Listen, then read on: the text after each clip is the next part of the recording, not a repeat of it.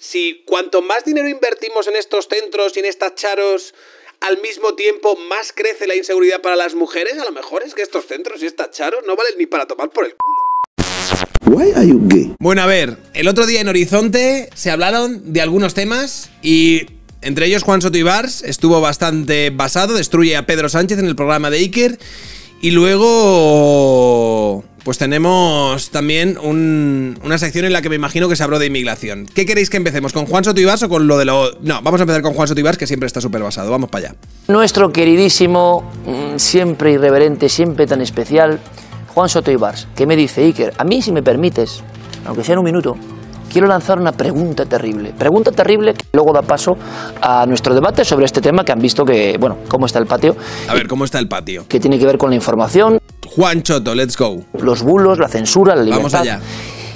Bueno, pues todo tuyo, eh, don Juan, y tienes ahí un libro. Sí, es que tiene que ver ya- con la El pregunta. aspecto ya es un poco inquietante. Ya sabes que a mí los libros malditos me gustan, Sí. que colecciono libros publicados en Corea del Norte. Joder, tío, pero se ha. Va al- Se ha echado suavizante en el pelo, ¿no? Se ha pasado una plancha por ahí o algo. Está como muy perfect. Y entonces tengo aquí uno de mi colección que me pregunto si va a ser una lectura útil ahora que los gobernantes quieren enseñar a los periodistas cómo hacer su trabajo. Se llama Kim Jong-il, que es el autor, maestro, gran maestro de los periodistas. Bueno, Kim Jong-il eh, era el gran maestro de todo. Kim Jong-il. Básicamente en Corea del Norte, Kim Jong-il fue el primer hombre en pisar la luna y muchas otras cosas más. O sea, estamos hablando de la casta de los Jong-il hizo de todo. Y aquí el, el- el- el- el querido líder del país amigo, Kim Jong-il, enseña cómo tenemos que hacer el trabajo sin bulos, sin fango. Sin fango, claro. Pero esto es muy antiguo. Sin ultraderecha. Are gay. Esto es un libro del año 83, sí, publicado en ¿No fue. Han Soria que luego desapareció? No, él no Eh, es. no, no, no, no. Es un colega. Este es un colega. Yo creo que si le cambiamos la foto, con las lecciones que nos está dando la clase Grandes lecciones. política sobre cómo no envenenar, sobre cómo ser constructivos, Claro. eh, sobre cómo no molestar. No mentir también. La clase, si de algo es un ejemplo la clase política en este país, es un ejemplo de no mentir. sobre cómo informar de lo que merece la pena, pues si le cambiamos la foto, prácticamente con el mismo contenido, este va a ser un libro muy útil para los nuevos periodistas en la época de la regeneración. Juan La regeneración democrática, hermano. Soto Ibars, confidencial. Ahí estamos. Este- Máquina del fango pura. Esther en The Objective. Eh, Es que, ah, es que menudos invitados que me trae Iker Jiménez, tío. ¿Y de qué hablaron? Pues probablemente hablaron de cosas de fachas, de cosas de fascismo. En solo tres meses la inmigración pasa de ser la novela preocupación para los españoles a la primera según el último barómetro del CIS. Esto es por culpa de la ultraderecha, efe- efectivamente. Es por culpa de la ultraderecha. Tres meses de populismo barato, dice David Jiménez. Eh, campañas de odio y desinformación con único objetivo propagar miedo y hacer imposible una discusión razonada sobre la inmigración. Populismo barato, campaña de odio y desinformación. Vamos a ver qué es lo que nos comentan aquí. Hace pocas horas, por ejemplo, el Departamento de Justicia de la Generalitat Sí. da sus datos y te quedas estupefacto. Actualmente en, la- en Cataluña, Sí. tres Va de- ya va a decir cosas eh, xenófobas y nazis, tío. Ya va a decir cosas racistas. No ha ni siquiera empezado a hablar, pero yo ya tengo la sensación de que va a hablarme de purísimo racismo en estado... ¿Sabes? En estado sólido. Tres. Me tienen que seguir tranquilamente. A ver. Tres de cada cuatro presos menores de 21 años son extranjeros. Tres de cada cuatro presos. El Esta campaña de 72,1%. odio ya. Es que menos mal que no tenía la chorra fuera, ¿eh? ¿Os imagináis? ¡Ay, qué sabroso! Oye, ¡Ay, qué rico, qué rico! Vale.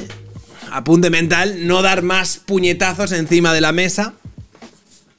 Madre mía, ¿eh? Imagínate. Imagínate que me da por hacer los directos desnudo de cintura para abajo, tío. Y le doy aquí un puño, tal, pa. Y se acaba ya. Y tengo la pichula por fuera, tío. Alguna vez lo he hecho. Alguna vez. 21 años son extranjeros. Vale. El Era tres de cada cuatro. Tres de cada cuatro. 72,1%. Pero la friolera es que nada menos que el 41,5% Joder, tío, más racismo. Marroquíes, el son marroquíes, 41,5. seguidos por argelinos y albaneses. Joder, tío. ¿Puedes, por favor, ¿Puedes por favor propagar menos odio y menos xenofobia? Eh, no estoy haciendo ningún comentario, son las cifras oficiales. Que cada uno saque sus conclusiones, siendo evidentemente una minoría respecto a la mayoría del, de población del país. Es decir, en otras palabras, a Esto es puro racismo en estado puro, ¿eh? Dice, populismo barato, campañas de odio y desinformación.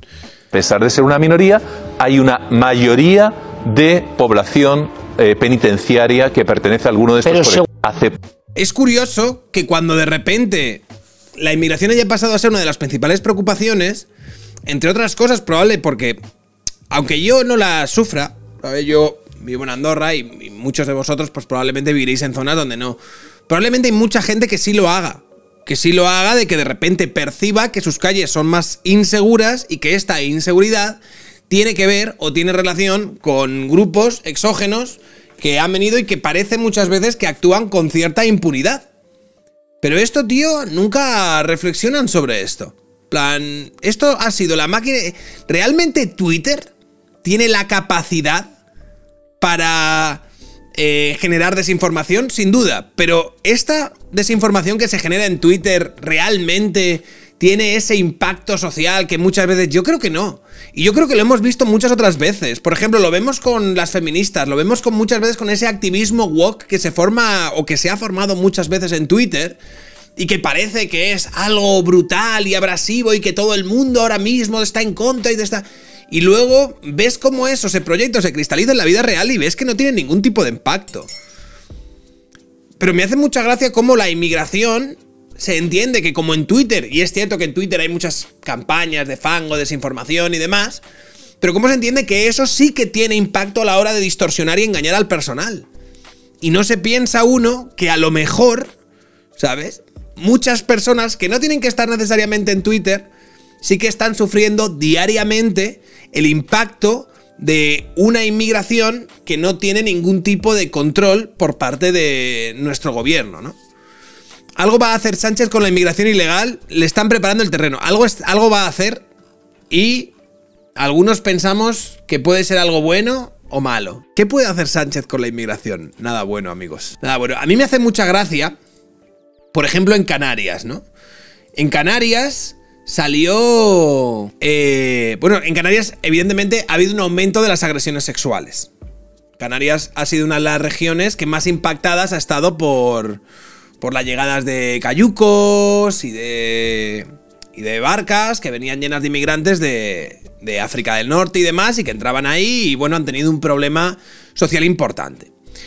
Y en estas también ha habido un aumento de las agresiones sexuales en Canarias. Increíble coincidencia. Entonces, en la televisión de Canarias, eh, hablando de, de esto que hablaba David Jiménez de campañas de odio y desinformación, lo que hacen para afrontar el tema de que ahora hay más eh, agresiones es You ponerte este corte donde básicamente re- responsabilizan Choca a la cara, y a Roma. Gallardo. Y a mí, de milagro, no. Fuera de coña, yo cuando salía con mis colegas de joven de farra bebía zumos y me hacía amigo de las camareras. Eh, eso es trucazo, ¿eh? Streamers que explican trucos para ligar con chicas borrachas o que denigran las figuras femeninas. Esos son referentes para algunos adolescentes, Ahí pero está, ahí está, ahí está. Las razones de la... Ahí está, ahí está. para otra parte de la población son completamente desconocidos. gran peligro es la brecha generacional que existe, Claro. que no sabemos ni qué Educadoras, educadora social especialista en violencia de género. consumen, ni qué ven, ni qué les llega, ni qué les educa. Eso Con es. movimientos como el Me Too o Hermana Yo Sí Te Creo se expuso una realidad, la violencia de género y sexual. Es que se ha multiplicado por cinco la violencia de género en la adolescencia en los últimos años. Sí, fíjate que es cierto. Las agresiones sexuales y los hurtos disparan la criminalidad en Canarias. Las violaciones crecen un 24,5% en los primeros seis meses de 2024. 100% por culpa del Chocas, ¿eh? 120% ha sido el fucking Chocas, tío. Hola Laura, ¿qué tal? ¿Cómo estás? Eh, pues yo muy bien, engordando. ¿Tú qué tal? Gorda. Cállate, Laura. Gorda también. ¿Cuál es, qué es lo que ha cambiado en Canarias en los últimos meses y en el último año? ¿Ha sido la llegada exponencial de cayucos con inmigrantes irregulares? Eso es lo que diría un xenófobo. Lo que diría una persona con conciencia sería que el choca se ha vuelto más popular entre los más jóvenes. Y basta ya de propaganda. Y señalemos a, que, a quien hay que señalar. que es al. al nene este con bigote y con. ¿Sabes? La coleta esta extraña que parece que la caga un palomo encima. Es que es así.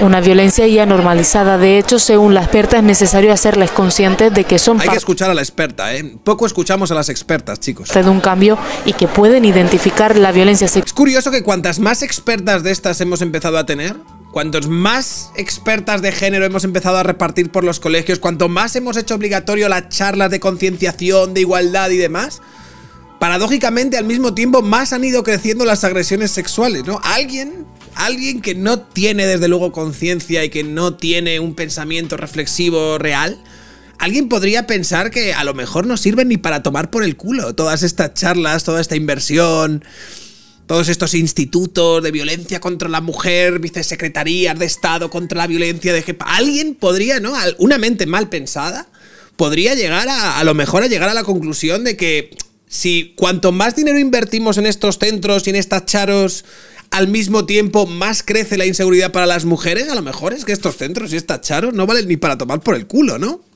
No sé. Alguien muy heterobásico podría pensar eso, sí, sí, sí, sí. Alguien totalmente... Un machirulo. Un machirulo es el que podría llegar a pensar algo así, nadie más, evidentemente. El resto de personas que tenemos cierta conciencia social, pues nunca jamás podríamos llegar a pensar algo así. Identificar la violencia sexual que podrían estar sufriendo o ejerciendo. Cada vez más, más chicos incluso se declaran negacionistas y tienen Fuck, los malditos negacionistas, tío, ahí está el problema. frases absorbidas de la ultraderecha más bestia que repiten eh, sin, sin cesar. Despertar una es literal el meme, ¿eh? Lo hicimos bien, lo hicimos todo bien y dimos todo lo que debíamos hacer. Nos endeudamos para meternos en el mercado de los chinos, en Bitmart, y lo conseguimos. Lo hicieron todo bien, ¿eh? Nosotros lo estamos haciendo bien, lo que pasa es que los putos jóvenes... Cada vez les damos más charlas, cada vez traemos más gente para que les conciencie, cada vez hacemos más mesas redondas, ¿sabes? Cada vez metemos más mierdas en sus libros de textos, en los videojuegos, en tal... Lo estamos literalmente, pero por alguna razón, los niños cada vez absorben mensajes más chungos de la ultraderecha. ¿Y estás seguro que esto tiene que ver con el aumento de las agresiones y no el hecho de que estéis recibiendo cayucos sin parar de peñita que entra en una edad pues bastante problemática, que no tiene ningún tipo de arraigo social y que viene de culturas donde literalmente cuando viene cuando violan a una mujer a la que meten en la cárcel es a la mujer, como por ejemplo pasa en Mauritania?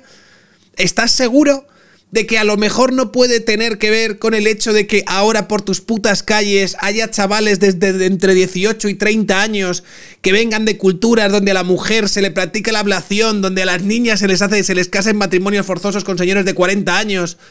O donde a una mujer casada, si, le, si es víctima de una agresión sexual a la que meten en la cárcel es a ella por adulterio, no va a tener nada que ver, quizás, lo del aumento. De, no, seguro, ¿no? Es el puto chocas. El puto chocas y los malditos fachas de redes y su negacionismo maldito. Es culpa de chocas, basta ya, ¿eh? Mentalidad crítica o ser conscientes del dolor ajeno son aspectos claves para alcanzar la igualdad, pero necesitan de profesionales que le guíen. Claro, necesitan más. Es que necesitamos más charos. Es que, es que no lo habéis entendido, tío. O sea, hay más violaciones. Es que no hay suficientes charos ahí. Yo creo que hay que aumentar el número de charos. Esto me parece muy curioso, ¿no? Esto es como si yo tengo un hotel que está literalmente. Eh, tengo un problema con los mosquitos en un hotel, ¿no? Entonces viene un señor y me dice: Mira, te voy a dar un incienso mágico que va a hacer que dejen de picar los mosquitos. Y yo pago al señor: Venga, póngame este incienso. Y de repente, al día siguiente. Sigue las picaduras. Bueno, a ver, hay que dejar que haga su efecto. Coño, a la semana no es que siga las picaduras, es que hay el doble de picaduras de mosquitos a clientes de las que había antes. Hostias. No, no, no, venga, pago más, pon más incienso, más incienso. Y dentro de tres meses hay cuatro veces más picaduras. Y en un año hay. Se ha multiplicado por mil. Y todavía el gilipollas, no, más incienso. A lo mejor es el puto incienso el que atrae a los mosquitos, quizás, no sé.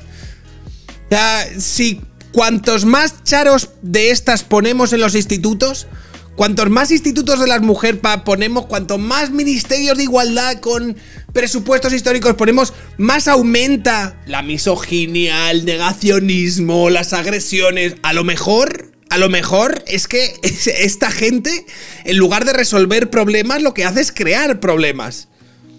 Porque yo, yo te llegaría a.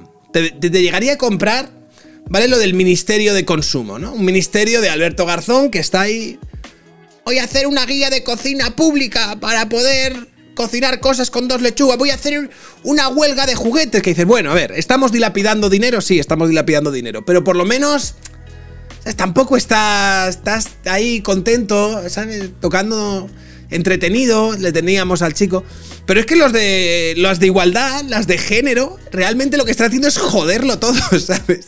Lo que están haciendo es crear problemas, lo que están haciendo es crear una situación y un y un ambiente que es más inseguro para las pavas. Cuanto más dinero de mierda invertimos en esta gente, más problemas hay. Y esta gente dice, no, lo que necesitamos es, mm, es más, más de nosotras, más charos en los institutos. Más charos. que le guíen. De ahí la importancia de estas jornadas específicas para educadores sociales, personal sanitario o Qué maravilla, tío. Qué fucking maravilla. Nada, pues nada, es imposible. Es literalmente imposible. Solucionar algo cuando creemos que la solución es poner a más personas del team de los sobacos morados en los institutos de este país. Gay?